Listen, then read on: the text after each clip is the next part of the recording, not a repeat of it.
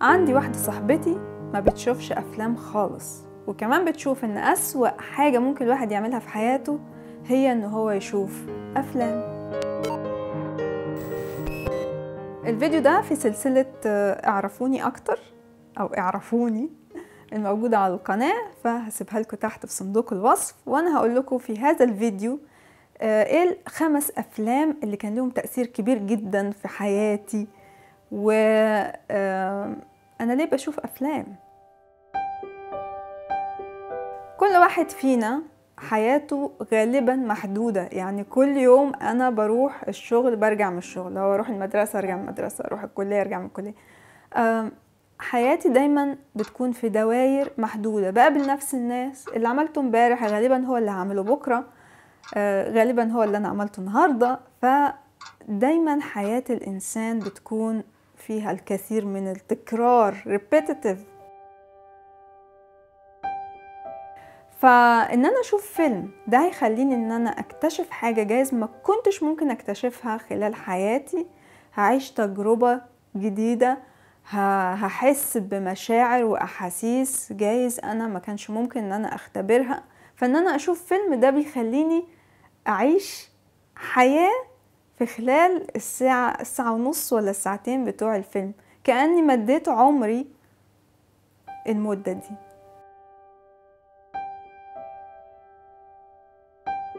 ففي طبعا أفلام كتيرة ولكن الخمسة دول كان ليهم تأثير كبير وهبتدي بيه. الفيلم ده أنا كنت كان في الوقت ده في فيديو فكان ما يطلعش من الفيديو غير عشان يرجع له تاني لأن أنا شفته فوق ال 500 700 مرة وكنت دايما بتفرج عليه وكان بيضحكني جدا. فالفيلم هو فيلم أذكياء ولكن أغبياء. الفيلم بطولة عادل إمام وسمير غانم في فيلم واحد. ومعاهم رشدي أباظة اسم كبير برضو مع إني يعني أنا ورشدي ما مش مش ممثلي المفضل ولكن it's okay okay. فالفيلم بيحكي عن إنه رشدي أباظة آه، هو عنده فيلا وبيأجرها سكن للطالبات المغتربات خليني أقول إن أنا في الفترة دي طبعا كنت طفلة عندي 10 11 سنة ما كنتش بفهم حاجات كتير في الفيلم اللي هي متعلقة بالعلاقات وبالتحرش والحاجات دي ولكن الفيلم كان بيضحكني جدا. ف... فرشد أباظة عنده البيت ده بيأجره للطالبات المغتربات بسعر زهيد جدا جدا. ليه؟ عشان هو عنده أغراض أخرى إن هو يتحرش بالبنات دول أو يقيم معاهم علاقات. فسمير غانم وعادل إمام هم طلبة مغتربين برضو بيدوروا على سكن في القاهرة. وطبعا السكن غالي جدا وهم معهمش فلوس فبيكتشفوا البيت ده اللي السكن فيه رخيص. ولكن الشرط إنهم يكونوا بنات ويكونوا بنات جميلات. ف إيه اللي هيعملوا بقى سمير غانم وعادل إمام؟ هو ده اللي في الفيلم. أذكياء لكن أغبياء إنتاج سنة 1980 من إخراج نيازي مصطفى وهو كاتب ومخرج مصري من أصول سودانية تركية. وتميز في إخراج أفلام لا تنسى زي 30 يوم في السجن صغيرة على الحب البحث عن فضيحة وبيقال إن الفيلم مستوحى من فيلم فان فيرز of love بطولة مارلين مونرو. للأسف نيازي مصطفى اتقتل في ظروف غامضة سنة 1986 ده كان فيلم خد مساحة من طفولتي okay؟ لكن ما أقدرش أقول إن هو أثر أو كده. لكن الفيلم الجاي ده فعلا كان ليه تأثير كبير في حياتي. أنا لما بدأت آه، يعني أعي يبقى وعي يتشكل كده وبدأت أشوف المعاناة الموجودة في العالم سواء الناس اللي جت قبلي أو الناس اللي موجودة حواليا في العالم. فبدأت إن أنا كمان أنجذب ل آه، إن أنا أفهم الدنيا عايزة أفهم الحياة. فاتصدمت بالحاجات الميستيريوس اللي هي الغامضة إنه مثلا الأشباح إيه إيه هل في أشباح؟ هل ما فيش أشباح؟ هل يعني فقعدت فترة انغمست في موضوع الأشباح بعد كده مثلث برمودا بعد كده التايتانيك السفينة التي لا تغرق. تغرق في أول رحلة في طالعة فيها. آه وبتغرق سنة 1912 وعلى متنها أغنى أغنياء العالم. فقعدت فترة كبيرة منغمسة في التايتانيك بقرأ كتب بشوف الرسومات إيه ممكن يكون حصل عشان التايتانيك تغرق. السفينة العملاقة دي أشوف شهود العيان وإيه الحكايات اللي حكوها عن لحظات الغرق عن الناس اللي ضحت بحياتها الست اللي رفضت إنها تركب المركب عشان تفضل مع جوزها وتغرق معاه على التايتانيك. حاجات كتير جدا وانغمست في التايتانيك وتأثرت جدا جدا جدا لدرجة إن أنا تلبست لوريان الطفلة, الوح... الطفلة الوحيدة من أطفال الدرجة الأولى اللي غرقت في الحادثة لأنه طبعا هم أنقذوا معظم أو كل أطفال الدرجة الأولى والسيدات كان ليهم كمان الأولوية في المراكب لكن الرجالة لأ. ف... فأنا كنت هتجنن عايزة أعرف لوريان غرقت ليه؟ لوريان طفلة من أطفال الدرجة الأولى إزاي تكون الطفلة الوحيدة اللي غرقت في الحادثة؟ فكتبت قصة لوريان الموجودة في كتاب جئت ورحلت وهي وصلت للسيمي فاينلز في برنامج أوراق على البي بي سي. والمهم أنا إيه عايشة بقى التايتانيك عايشاها كل تفاصيلها الحاجات الموجودة القطع الأثاث كله كله. سنة 1989 98 1998 آه رحت أشوف فيلم تايتانيك في السينما رحت سينما طيبة في ميدان رابعة في القاهرة ودخلت شفت فيلم جيمس كاميرون اللي هو ما كانش أول فيلم يتعمل عن التايتانيك okay؟ أنا شايفة أفلام قبل كده لكن الفيلم ده رحت شفته في السينما الشاشة الكبيرة الغرق الحاجات كل تفاصيل التفاصيل موجودة في الفيلم عارف إيه ده؟ ده عارف كل ده يعني فعلا يعني كل الأبحاث اللي أنا قعدت أعملها هو موجودة في الفيلم. فاتأثرت جدا جدا جدا وخرجت من الفيلم وأنا في حالة ما حصلت ليش لا قبل كده ولا بعد كده. خرجت في الشارع المفروض إن أنا آخد الميكروباصات بتعدي المفروض أشاور للميكروباص عشان أروح ولكن إيديا ما بتترفعش. عايزة أشاور للميكروباص لكن أنا كأني مش في جسمي. أنا شايفة شايفة التايتانيك وشايفة الشارع والدنيا ملخبطة جوايا. وبعدين اتخضيت على نفسي طبعا إنه إيه ده؟ مش عارفة أرفع إيدي. ف فرجعت قعدت على السلم شوية كده لحد ما هديت. وعملت حاجة عمري ما كنت عملتها في فيلم قبل كده ولا فيلم بعد كده الحقيقة. وهي إنه دايما بيستثمروا نجاح الأفلام بإن هم يبيعوا حاجات منتجات مثلا mug أو تي شيرت في أبطال الفيلم أو كده. وأنا عمري ما كنت الحاجات دي أنساق إليها يعني. ولكن فيلم تايتانيك رحت اشتريت الموسيقى التصويرية. وقعدت بعد تايتانيك ست شهور. كل يوم أسمع الموسيقى التايت... الموسيقى التصويرية بتاعت الفيلم وأبكي بكاء بكاء حزينا يعني. لازم أقول إن أنا أصلا من زمان جدا يعني من أول ما بدأت إن أنا أدرك إيه اللي بيحصل في الحياة والمعاناة اللي بيمر بيها الناس وكده. أنا كنت أميل دايما للبكاء وكنت بشوف إنه يعني لو أنا قعدت أبكي بما يعادل البحار والمحيطات الموجودة على كوكب الأرض فده مش هيكفي حجم المعاناة اللي الناس عاشتها وبتعيشها. فعشان كده أنا لما شفت التايتانيك وزي ما قلت كنت منغمسة فيه وكده فده أثر عليا ست شهور بعد الفيلم وأنا كل يوم قبل ما أنام أسمع الموسيقى التصويرية وأبكي. أسمع الموسيقى التصويرية وأبكي الموضوع ابتدى يخفت شوية بشوية لأن أنا من كتر ما سمعت الموسيقى التصويرية ما بقتش تأثر فيا بنفس الشكل اللي كانت بتأثر عليا فيه بي ولا فيه مش اللي كانت بتأثر عليا فيه قبل كده. ف على نهاية الست شهور كنت بقى إيه خلاص الموضوع يعني خفيت. كنت خلاص خفيت. ولكن ما أقدرش أنكر إنه الفيلم أثر عليا بشكل كبير جدا لا حصل قبله ولا بعده. جيمس كاميرون مخرج تايتانيك كان مولع بحطام السفن. سنة 1995 نزل في غواصة لتصوير حطام التايتانيك وده كان الجزء اللي استعمل في الفيلم ودخل في نسيج القصة. الفيلم كان أغلى فيلم اتصور في وقته بتكلفة 200 مليون دولار وتم إعادة بناء التايتانيك داخل الاستوديو لإعادة مشاهد الغرق. الفيلم فاز ب 11 أوسكار. جيمس كاميرون من المناصرين للحياة الصحية والأكل النباتي وحماية البيئة وده ظهر في فيلمه أفاتار وده هياخدني للفيلم الثالث وهو The Secret أو فيلم السر اللي هو بيزد على الكتاب The Secret.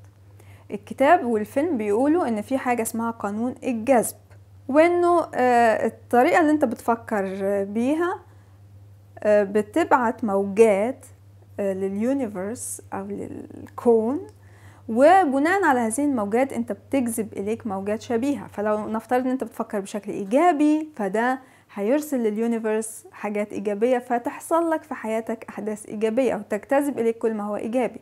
ولما أنت تبعت موجات سلبية من خلال أفكارك السلبية أو الحزينة أو كده فده هيجذب إليك برضو أحداث سلبية وحزينة و و و. فلما أنا عرفت كده بقى قلت آه آه طب ده أنا طول عمري بأبكي و... و... وفي حد كان بيسألني في القناة كاتب لي كومنت بتقول لي تريزا هو انت أنا لاحظت إن انت عندك انتفاخ تحت العين. هل ده من الأكل الصحي اللي انت بتاكليه? فالحقيقة إنه أكيد لأ. لأنه ده من فترات البكاء الطويلة اللي أنا كنت ببكيها. فلما أنا عرفت بقى ده السيكريت إنه ده ممكن يكون ليه تأثير سلبي على حياتي وكمان ممكن يكون ليه تأثير سلبي على صحتي.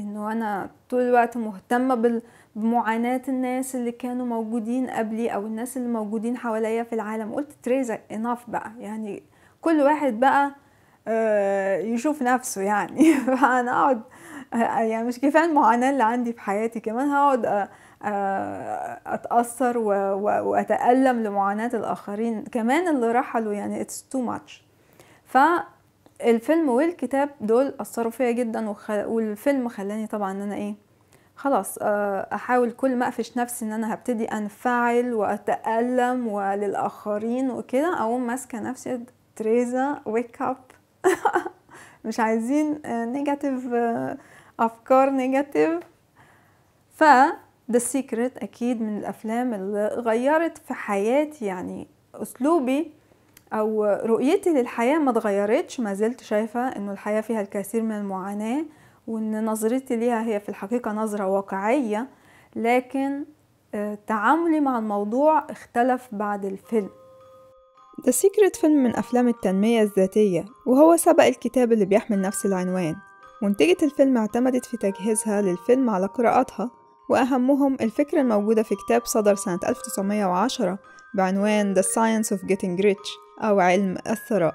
وكمان اعتمدت على New Thought Movement أو حركة الفكر الجديد اللي ظهرت في أمريكا في القرن التسعة عشر وكانت بتنادي بأن الإله هو في كل مكان وهو ذكاء لا نهائي وموجود جوا كل شخص. وإن الحب والإيجابية تشفيك وتشفي اللي حواليك. خلوني أرجع شوية للتايتانيك كده وغير الست شهور عياط اللي أنا كنت بعيطهم دول كمان قعدت سنتين ممتنعة عن إن أنا أروح سينمات وأشوف أفلام لأني حاسة إن مستحيل هلاقي فيلم يرتقي لتأثير الفيلم ده عليا. فبعد سنتين في واحدة صاحبتي كانت بتقولي تعالي تريزا نروح السينما مش عارفين نشوف فيلم وكده وكان فيلم رعب. فأنا قلت okay ده فيلم رعب يعني genre مختلفة تماما ف مفيش مقارنة بينه وبين التايتانيك فروحت أشوف الفيلم وهو فيلم The Others. أنا أصلا كنت بحب أفلام الرعب. فالفيلم ده هو من نوعية أفلام الرعب اللي أنا بحبها. هو فيلم ما فيهوش قرف لأن أنا ما بحبش أفلام القرف اللي هي فيها حاجات متقطعة دم أشكال مقززة. دي الأفلام دي أنا ما بطيقهاش الحقيقة.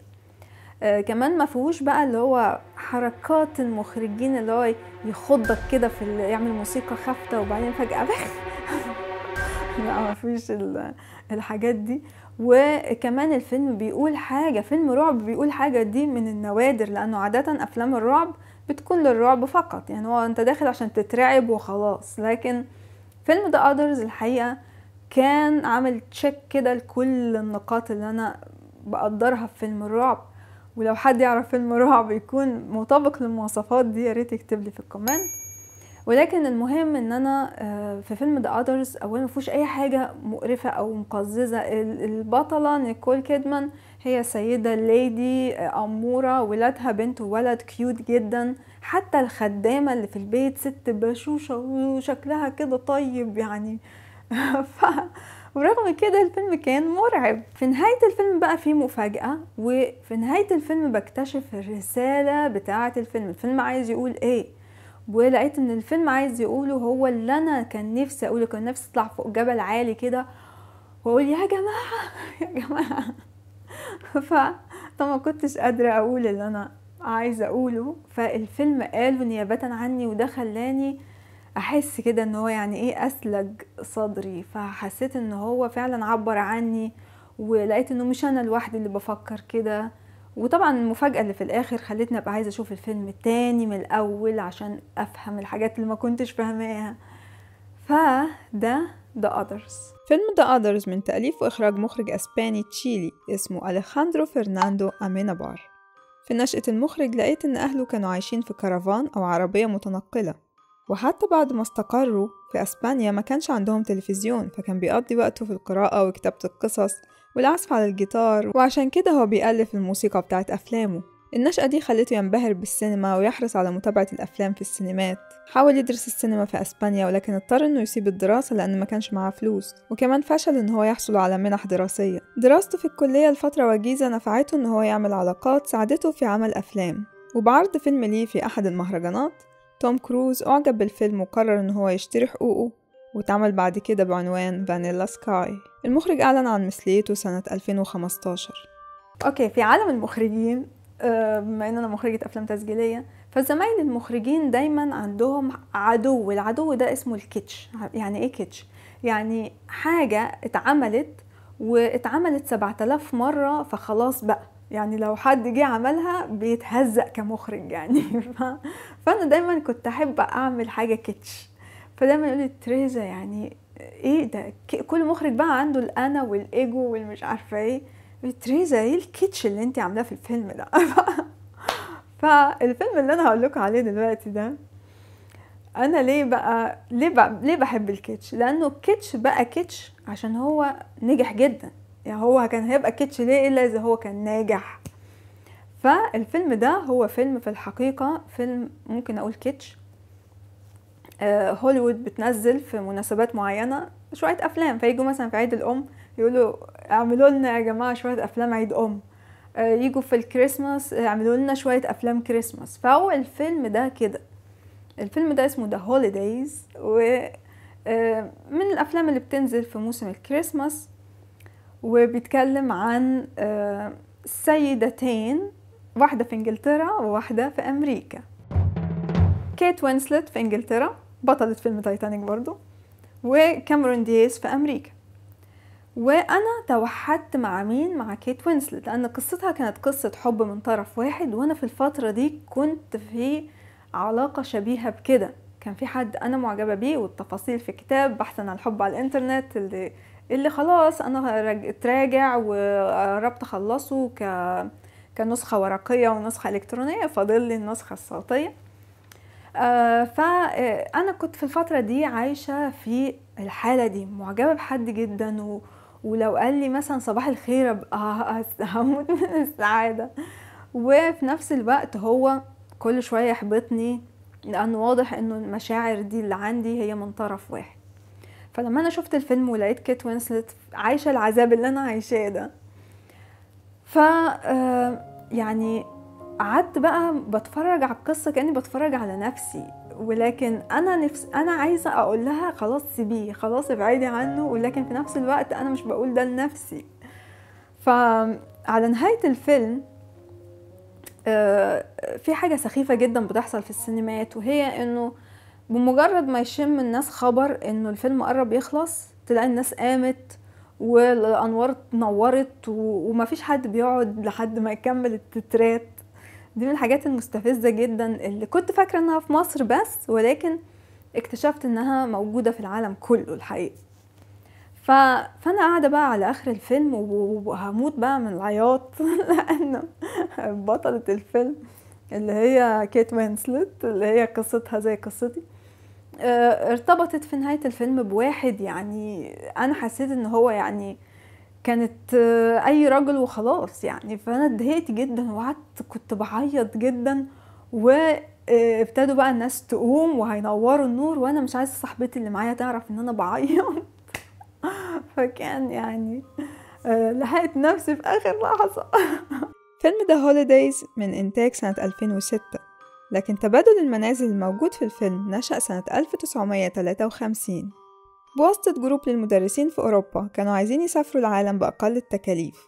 وفي نفس السنة مدرس تاني أنشأ في أمريكا شبكة تانية لتبادل المنازل سماها نادي تبادل الأجازات أو Vacation Exchange Club وحاليا في عدد من المواقع لتبادل المنازل على الإنترنت. وأنا ليا خبرة طويلة في مجال تبادل الكنب وده هتلاقوه في كتاب الإبحار بالكنبة و Cheap Travel on a Couch.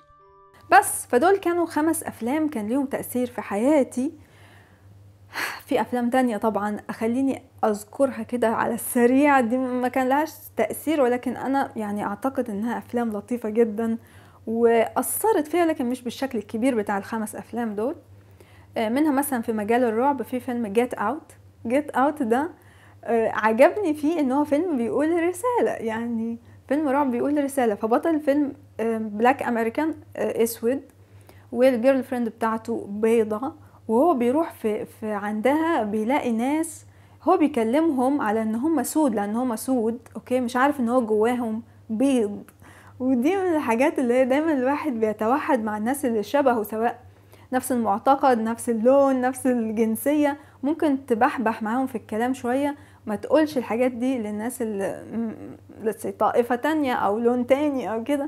فهو كان بيروح يكلم الأسود ويقول له هي مان إحنا زي بعض.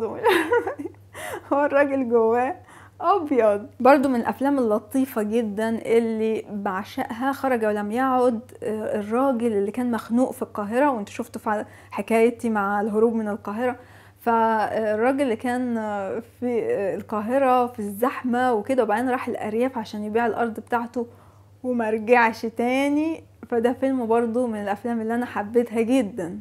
أرض الأحلام. فاتن حمامة بقى في قمة تألقها من وجهة نظري. ما بحبش أفلامها الأبيض وأسود. آه تختلفوا أنا عارفة.